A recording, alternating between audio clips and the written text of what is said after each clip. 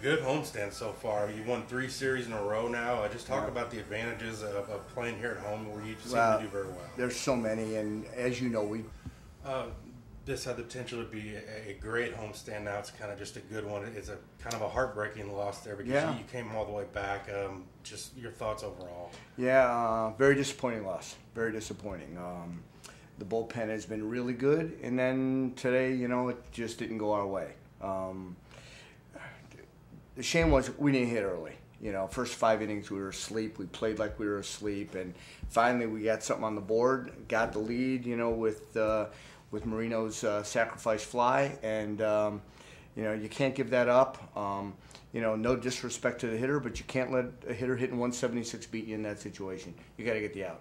Uh, we intentionally put Gus Ring on.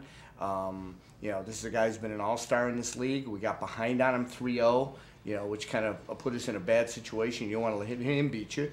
Put him on first base, and you know you're facing the righty righty versus a kid hitting 176 and get two strikes. Can't put him away.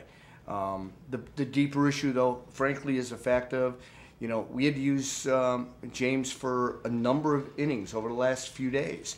That's an after effect of us not scoring runs in the last two days before this. Um, and that gets missed someplace along the way. So, ah, the bullpen gave it up. Bullpen gave it up because we got to keep going to them. I mean, how many times do you expect these guys to come through night in, night in, night out? And, um, yeah, I'm still waiting for offense to pick it up.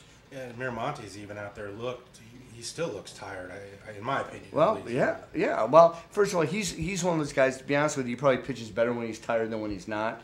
Um, he's not a velo guy. He's a guy that you know lives on his movement, and um, you know we got the situation. The guy hit the ground ball through the through the infield. You know that was nothing. Um, we got the out. And um, you know, then uh, with the guy at second base, I didn't want to take a chance, and you know, uh, they got sack, they sacked him over. I didn't want to take a chance on uh, facing the lefty again with him, and we got the double play. So worked exactly the way it was supposed to. But in the eighth, it didn't. You know, we uh, you know we had the matchup with uh, you know their big first baseman, got the out we needed there, and. Um, and unfortunately, couldn't make the pitch when we needed to. I made a comment to Ralph. Game's on the line right now, and next thing you know, the ball's in the gap.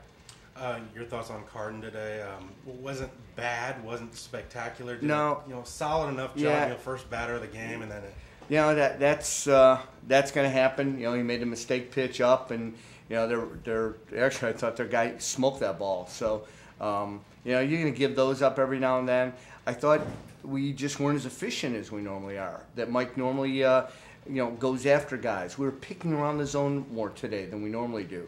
And end result was his pitch counts up, pitch counts up. Next thing you know, I got to pull him out of the ball game. He's at 100 pitches. Um, you do have two days where you do not have games, Right. uh, and then a huge series coming up uh, with Washington. Talk a little bit about that. Obviously, it's a long trip out there, Yeah. but you, you got to. Well, we're going to use one of the off days to do that, so it's not like we're traveling in the middle of the night.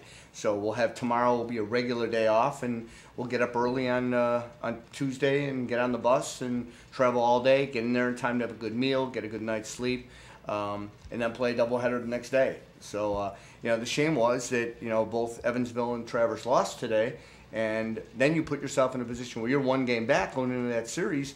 You know you have a good, you do a good job at series, you come back home in first place. Now a game like this that we kick, you know, now all of a sudden you you hurt that chance a lot. You know, now you got to sweep to do that, and you know we've just got to we've got to do a better job of putting teams away. Not only when we have leads, but you know what, you got the series. Now go for the sweep, put them away. Good. Okay, thanks guys. Thank